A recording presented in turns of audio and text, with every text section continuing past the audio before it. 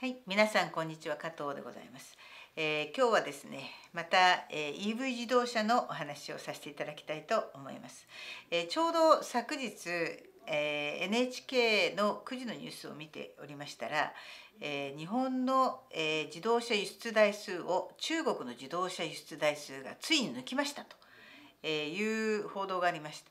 で、あのその中でですね、えーこれは中国のえ EV 自動車が非常に競争力を持っていて、え EV の輸出が伸びたからですという注釈がつけられて報道されておりました。えそこでですね私はちょっとあのアメリカのニュースをあの見ることにいたしました。ちょうどアメリカのブルームバーグ社というあの経済ニュースがありまして、えーそこの記事を読んでみますとですね同じように中国の、えー生産、えー台数がえ3000万台を突破したということが述べられておりその中で特に輸出が顕著であると491万台の輸出をしたということが実際に報じられているんですがところがですねブルームバーグ社の分析というのはこれは NHK の分析とは全く異なるものでありました。どういうことかというとですね、えー特にですね実際にどこが伸びたのかというところを非常に細かく分析しておりまして、えー特にそのロシアへの輸出が、えーものすごく伸びたと、えーロシアへの輸出がですね、えー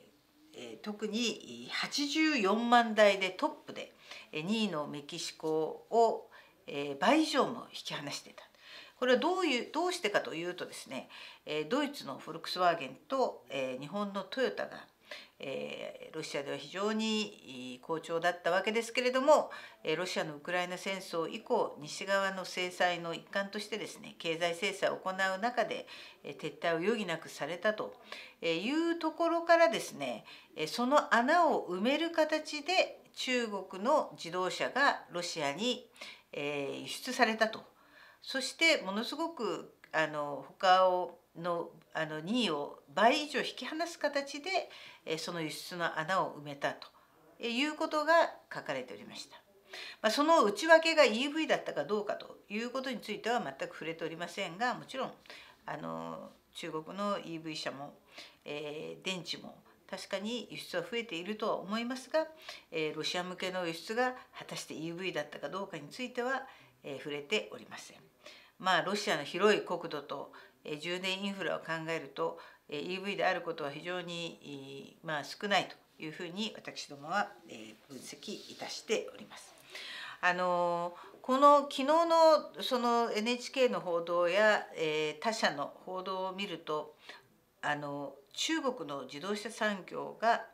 えー日本を凌駕しているかのような印象をお持ちになる方も多いかもしれません。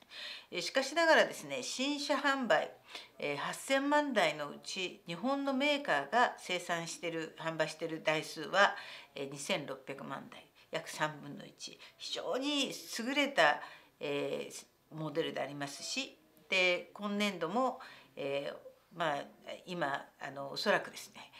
トヨタが世界で一番の販売台数を、フォルクスワーゲンよりもですね、上のですね販売台数を記録するというふうに思われております。そしてですね世界全体の傾向を見ると日本のあの新聞紙ではですねほとんど EV の話題しか自動車に関しては出ておりませんので誤解をされる方もいらっしゃると思いますが圧倒的なマーケットシェアはまだまだ内燃機関でありそして、えー今年はハイブリッドの大ブームが、えー来ますので、えーまあ、ハイブリッドであるわけでまだまだ EV 車のシェアというのは非常に限られています。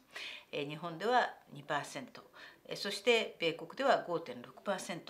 でそしてアジアえインド ASEAN はまだまだ90%以上が内燃機関インドに至っては99%が内燃機関という市場であります。でそしてドイツに関しても今 EV は15%ですけれどもそのドイツも前倒しで補助金を、えー廃止するという流れの中で今年は2024年は EV にとってはなかなか厳しい年になると思います。えーまあ、特にニューヨークの証券取引所が開いてからですね